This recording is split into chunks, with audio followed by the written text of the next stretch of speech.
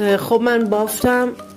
دورج دورج بودم رنگ بندی رو عوض کردم خب رنگ بندی هم شما میخوای نقی که اضافه بکنی هر رنگی دوست داری میتونی اضافه بکنی